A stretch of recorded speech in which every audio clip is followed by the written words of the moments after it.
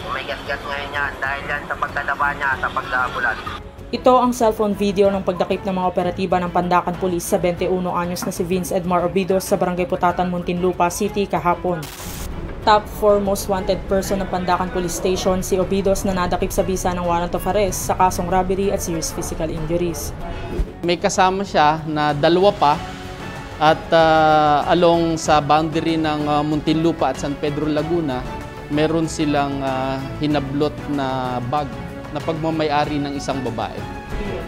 Hindi na tumanggi sa krimen ang sospek. Na ano lang po, nasulsulin lang po ng barkada po. Ano lang po, hindi na po ako ulit dito.